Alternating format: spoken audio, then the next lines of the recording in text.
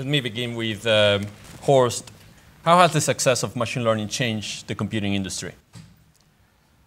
Actually, substantially, very substantially. I think this is part of a bigger picture. So you heard already Alejandro talking about the end of Moore's law. There is a lot of innovation going into computing currently. But very specifically, in the last couple of years, uh, computing companies have been extremely successful because of a new demand coming out of machine learning and unfortunately also out of cryptocurrency mining. So companies such as NVIDIA have been selling their processors um, like hotcakes and at significantly increased prices. So if you look at the price structure of what's happening in the market is, is a lot of computers are almost twice as expensive today as they were compared to a year ago.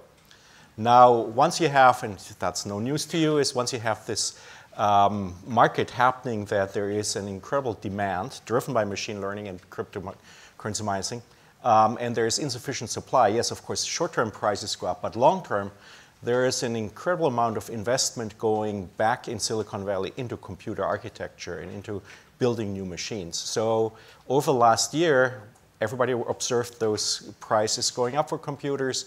There were 45 new companies, or thereabouts, created just in the last year, year and a half, that all are trying to benefit from this increased uh, interest in machine learning.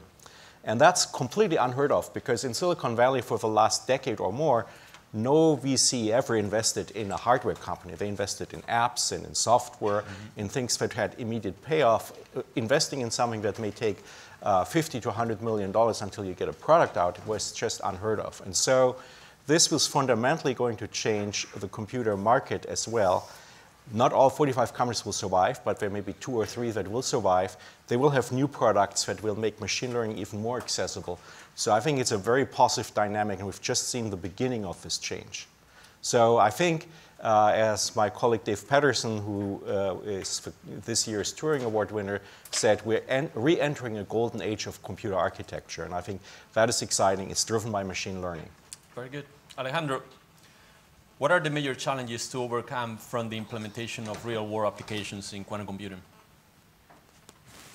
So I think uh, I, I, would summarize in, uh, there, there, are a few, a few items. So one of the ones uh, I mentioned during the presentation is, uh, although we've been playing with uh, programming these devices, let's say for the last 10 years, and coming up with algorithms, and the, the history of, of applications for, of quantum computing most likely you heard of even in the, since the 1970s, 1980s, 1980s when actually everything kicked off, 1990s like uh, with the Shor's uh, algorithm for factoring, for breaking um, cryptography, or for example, like for searching unstructured databases. That's another, some of the applications that you might have heard of quantum computation. I think one of the big challenges, and that's actually what uh, keep me awake, awake at night, is actually is to find valuable applications like the ones that you have at hand where we can really prove that we can that these devices are going to show any advantage with hundreds to thousands uh, of qubits only. So that's, that's what I see is the near term for these devices. I'm finding these applications for us and demonstrating that you can, we can have an advantage that would be key for the success of these technologies. So certainly from the from the hardware side, and this is also motivated by the application because, as Horst was mentioning, the applications also drive the technology, is certainly the, the integration of the device itself, let's say the hardware architecture, is still, is still a green field. So for the most part, what we see in the, the hardware companies, they have an idea of the, the, the building blocks, but in reality, if we had a clear application that was a killer application for quantum computation, they, they will certainly drive the hardware towards that. So the integration of the hardware itself with the application is important. And I mean, there are the typical things that you might have heard about the, the challenges. Certainly, uh, reducing the noise significantly. So these devices are very fragile. Um, Marcos mentioned the operation of, for example, of our device is of the order to 10 to 15 millikelvin. So that's of the order of 200 times colder than the deep space. So it's actually it's the coldest place in the universe. I mean, not even in nature we find this temperature. So operating these devices is very fragile. So they're very susceptible to noise. And those are one of the main challenges from the engineering side. We know from the science that they should work. It's just the engineering aspect is, is an important one. and the other one is the error correction. So if we could actually, that's a more long-term goal for quantum computers to be robust and stable in the long term. Certainly error-corrected devices is the way to go, but that's more like in the, in the 20-year time span. So those are, I would say, the main challenges that we face right now. Very good. David, what do you think are the implications of AI, ML in fooling yourself with extreme data mining? Uh, I think I touched on it uh, you know, at, at, the end of my talk, where um, I, I, wrote a paper that is probably going to be quoted in my obituary in, in the 90s um, uh, called Stupid Data Miner Tricks, uh, Overfitting the S&P 500. And uh, we took a CD of completely non-financial data from the UN. It had statistics on 150 member countries, things like cattle and sheep populations, number of bathtubs and, and the like, and it, it, on an annual time scale. And we tried to find the best single fit for the S&P 500 over a 10-year period. And it turned out we got a, a R squared of 0.75 with butter in Bangladesh. And then we said, okay, how much better can we do? You throw in cheese. And it, it, the, the nature of regression is that if you put in another variable that's not perfectly correlated with the first one, you're going to do better. So we got to like 0.9. And we threw in sheep population. and it, it, takes you to 0.99. And it was, it was totally bogus, but it looked fabulous. Well, from butter to cheese to sheep population, to sheep. I, I, see a theme this, there developing. Yeah. Then we said, okay, how about, like, well, that's enough with this regression stuff. We used um, Maxima to do some infinite precision arithmetic, and we just used the year's digit. and, and you can fit a polynomial that is perfect, that has a, the r squared of 1. Uh, that way. I mean, you, your coefficients are very low to, to get it to be, to be so precise. And that's a relatively low-powered technology. Um, there's, a, there's a system called Eureqa. I don't know if you, you guys have heard of it. It's, it's another, um, it fits uh, symbolic regression. Regression, you, you, know, you sort of assume a functional form, mm -hmm. and then you, you estimate the, the parameters. Symbolic regression is where you allow the, the functional form to change. So you can, you can do rationals, you can, you can let it include anything you want. And this will, it, it started out when, when they first, it, it came out of the Cornell Creative Computation Lab, I believe was, and that, uh, a company was, was spun off and now you can, you can download the sample and, and it runs uh, on the Amazon uh, cloud, the, the, Amazon Web Services. And you can see how many models it looks at. And, and the number quickly gets into the billions. And many of them are fabulous. And I've, I've done some things in finance, I've showed it to some friends in physics, and it comes up with some great stuff. In physics, there were some, some people working in plasma physics one of the variables it found was density of the plasma to the power of density of the plasma to the power of density of the plasma to the power of density of the plasma, the fourth involute of density. This just doesn't show up in physics, right. but it's a great fit. And you know, if you you could torture the data till it screams, if you know, if you uh, kiss enough frogs, you'll find one that looks like a prince. uh, the, it, it's so easy to, to, to fool yourself. Yeah. And, and the more computa, you know, the, so the idea of statistical significance doesn't really mean anything anymore. You, right. know, the, you know, there are so many false positives. I hope that answers the question. Yep. Let me take one question from Slido. Um, problem, the problem in finance uh, is usually not enough useful data instead of having too much data, whereas some research to overcome this. Um, let me give a try on this one. Um, well, it is true that, uh, you know, until very recently, the only kind of data that was available for financial research was uh, prices, volume, then the ticks arrive, and then information about um, uh, you know, real-time uh, statistics on expectations on earnings or fundamental data. That was uh, until recently. Now the kind of data that you can extract is very different, right? You can uh, obtain satellite images of supertankers as they cross the ocean. And it is not a matter of prediction anymore. You know that there is going to be a shortage of crude in New York Harbor. Um, you can uh, install sensors to measure um, uh, atmospheric pressure, uh, humidity in, in certain areas where you try to estimate the yield of a crop. You can put uh, short circuit cameras at tunnels to measure density going through Lincoln Tunnel in Manhattan. You can uh, take photos of multiple uh, parking lots uh, outside wholesalers. you can take night photographs, satellite night photographs of hundreds of thousands of municipalities in the US to try to determine whether there is an increase in economic activity and therefore whether there is a probability that perhaps these municipal bonds are going to be upgraded or downgraded. This is the kind of information that is available now that was not available a few years ago. And this is truly significant in the sense that at some point when you have enough amount of data, it's no longer a prediction. You're just counting beans, right? Uh, a prediction involves making some assumptions, having a theory, and it's a kind of a leap of faith, right?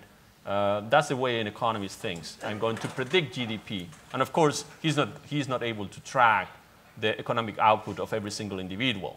That's, forecasting is the job of, econo of an economist. But when you have the amount of data that we have for the first time in history today, at some point in time, we are not going to make predictions. We're just going to estimate outputs, and it's not going to be a prediction based on some um, theories or, or beliefs. It, you're just going to count and measure very accurately what could be the earnings of this particular company. And you may know the earnings of this company before the executives of that company. So that's why where I think that um, the kind of alternative data that is beginning to be available today is going to make a big change in finance, a change that we have never seen before because this, this kind of data was never available until now. If I could yes. add something to that that also relates to the previous question. There's a key distinction in financial data between what you get when you're doing it and what you see when you're doing research in it. There's, it's the difference between as reported, real time, with all the errors, with all the delays that uh, systems are prone to, versus the cleaned up time sequenced version that you pull down for a research data set. Um, arguably, the flash crash was caused by errors. The, the, people still argue about in, in timing, but the, it's, it's not idealized. So if you really want to do it right, you have to record your own data uh, and timestamp it yourself as it comes in to see how your trading strategy or investment strategy would do. This is much more important on, on, on the, the, the, faster you go. If you're looking at daily data, that doesn't really mess up too much, though, though sometimes it's corrected. Uh, but if you're looking at, at ticks, um, what, what, you, what you see in the historical uh, databases is not what you get in, in your trading system. I have a question to Alejandro. Um, you said that uh, heuristics lead us to suboptimal solutions, mm -hmm. unqualified. Mm -hmm. Sorry, say that again. Uh, you said heuristics lead uh, to suboptimal solutions. They could, huh? Yeah. Mm -hmm. Have you been at my talk? If I can. Have you been at my talk? No, yeah, okay. so it depends, but I think, uh, so, so the type of uh, problems, I mean, I certainly, if you tell me that, for example, that you can solve uh, NP-hard problems in polynomial time, without actually, uh, then I certainly, that's the type of, that is, that's the type of problems that we're interested. So of course, I mean, you can exploit the structure, and it's great actually. We use heuristics as well in quantum computation. Right. But the idea is that there are problems that are known, or at least, for example, unless NP is equal to P, that we know finding those heuristics are not going to work in, in this yeah. type of problem. Uh, let me make my point. Hmm? Now, uh, you also talked about portfolio optimization. Mm-hmm. Would you agree that you're using the usual rhetoric about optimization that only holds in the past? You can optimize you know, something that you know already, but you have no way to find the optimal portfolio for the future. So this is just rhetoric. Hmm?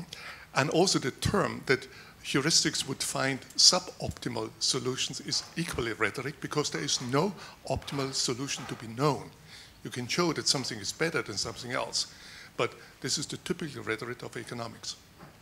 And I warn you, using this rhetoric, I know you're a business person, and that's useful, but consider, I would like to see that you test your own models, including the future quantum computation models, in prediction.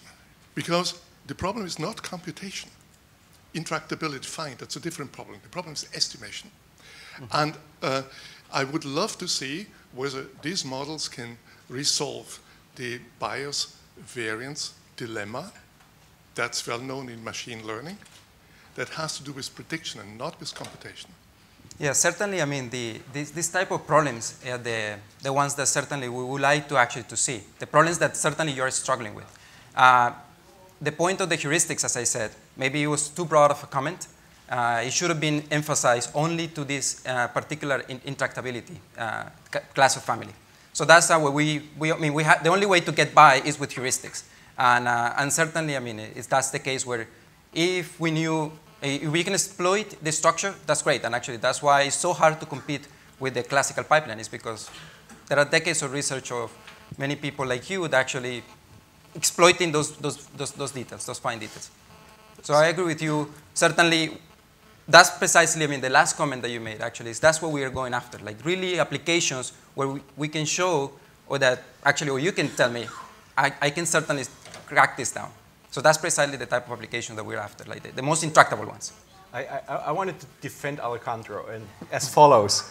I think this is a very typical case when two different communities talk because words have different meanings. Yeah. What Alejandro means and what I would mean when I say heuristic algorithm, it's an algorithm in the computer science sense. In computer science, you have problems that are NP hard, which means that you cannot actually come up with an efficient algorithm to solve these problems. Mm -hmm. So all you can try is uh, algorithms that are heuristic, that try out good solutions.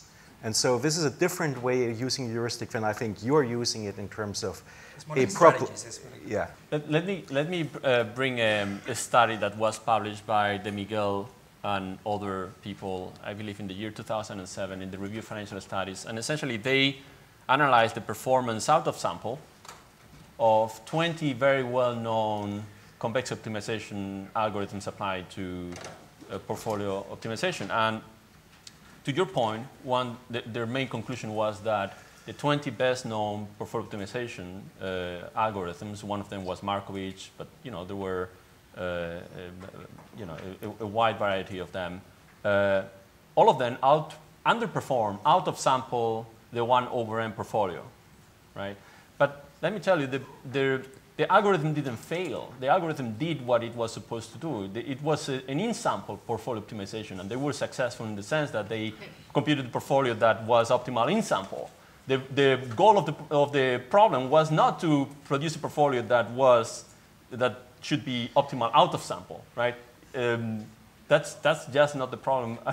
I, know, it's, it, that's, that's, but that's the way portfolio optimization works, right? We are trying to optimize a portfolio based on uh, some covariance matrix that uh, very typically has uh, poor mathematical properties in finance, right? Now, let me tell you at the same time, so that's, that's to your point. I, I, I, I agree with you that very often we identify mathematical solutions that happen to be optimal in sample, but then they are not optimal out of sample because that was not the point of the exercise. The point of the exercise was to compute a, a, solution that was optimal in sample. At the same time, it is true that there are complex techniques today that, that can outperform both convex optimization and uh, the one over n, the naive portfolio.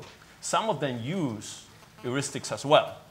Um, still, they are machine learning algorithms because machine learning happens to use heavily on, on heuristics. So I, I think what you're saying has has some truth on it, uh, meaning that heuristics is an integral part of machine learning. And machine learning uh, has this ability of combining heuristics with, um, with robust mathematics in order to achieve uh, solutions that happen to be better out of sample. Right? Let me just add actually an, an important point because, and, and this, is very, this is very important because I don't want to give the impression actually that what I'm saying is that with quantum computers you can solve these intractable problems uh, in, that scale exponentially in polynomial time. I'm not saying that by any means. Right. Actually, it's, it's, quite the opposite. I mean, we're even struggling to see if we can, that's what I call the word advantage. And as you mentioned, I think we're in the same page. I mean, I think uh, it's really harming when you have these problems of prediction of the future, you just don't know even, I mean, how to even characterize what's global and what is actually optimal. And in that case is where I see that quantum computer, even in the near term, is another heuristic in the zone. It uses an approximation, and it just might give you a different solution. Whether that solution actually could be valuable or not, that's precisely what we want to identify. So it's just, I mean, there is plenty of room. I mean, the intractability is something that I'm not, I'm not even claiming that we can solve. I mean, I'm, I'm actually more like on the accepted, on the accepted side that we can solve these problems in polynomial time. I mean, otherwise we'll be breaking most likely some laws of physics. But in principle, is there is plenty of room for improvement from actually from what we know, and that's that's what I see a potential. It's just to get a different solution from what you use and any other researcher use. It's just to come up with different solutions that could be valuable and maybe hopefully have a, a better and a lower cost than actually. And that's, that's basically the, the, the point that I was trying to make. When it comes to finance and to um, generating alpha and trading and picking stocks, why is it this is not a zero-sum game? And if it is a zero-sum game, is it a good idea to invest a lot of money into, very, into an arms race for a zero-sum game? Well, is, is it a zero-sum game? Um, no, I don't think so. I mean, if you go into an, if you went into the Google IPO and at the beginning and stayed there, you made a lot of money. Who lost? I don't, I, I don't see the loser. Um, you know, there are situations like that. I think there are other investing uh, disciplines um, where it, you know, like maybe options trading, you know, for every buyer, you know, there's somebody on the other side, so if you made money, somebody no, didn't. So, so, it's not, it's not always. What uh, is distributed via dividends or capital appreciation is what the economy produces in different parts of the capital structure. This doesn't change. So you're very smart, you will appropriate a better part of this production of the economy. But someone else will get less. But that um, person will get another algorithm. Well, I mean, if you count opportunity cost, I mean, you know, if, I mean, there's only so much Google stock in, in 1990. When did they go? When was the IPO? 95, 96? You know, there's only so much. And if I bought some of it, that meant somebody else couldn't buy it. So if you count that out, if you count the opportunity cost, yeah, then it is a zero-sum game. Yeah. But uh, not in not in the strict sense that I, I, would, I think options trading would have to be a zero-sum game. Yeah. From a society's point of view, um, it seems to be a zero-sum game. Um, uh, actively trading. I mean, you could say index funds are a zero sum. I mean, if you once you start, once you throw opportunity cost into it, you know, even if you're not picking any stocks, you're just you know you're just buying index funds. Uh, the people, uh, you know, the, the market in general has gone up historically, and you know that's that. Once your investment portfolio gets very big, you pretty much that's all you have. That's all you really can do. You know, if you've got you know you know, a trillion, you know, 500 billion, a trillion to invest. If you're like ABP, I think the, the Dutch National Pension Fund is the world's largest pension fund. They, they can't really, they could pick little IPOs, but you know, the, even if they do great, it comes out in the six decimal place because they're so large, because they have to make small investments. So that's, you know, I, I, I didn't think of that as a, you know, a zero-sum game. It's more or less a, you know, a rising tide lifting all boats. There's one here from the audience, Alejandro. Uh, Bitcoins, on Bitcoins on quantum computers? Yes, definitely. So, the, uh, so let's say also it's related to the, to the previous comment is there are certain applications we know quantum computers will, will excel. If we had actually a fully error-corrected quantum device, for example, like factoring, I mentioned a couple of those, searching a structure uh, and a structure, doing searches on unstructured databases. That's another one that will give you a quadratic speed up. The ones that are kind of like more like in the blurry uh, domain is precisely those ones where we say that actually quantum computers are used just as approxima approximating solution heuristics like NP-hard problems. Those were are unclear.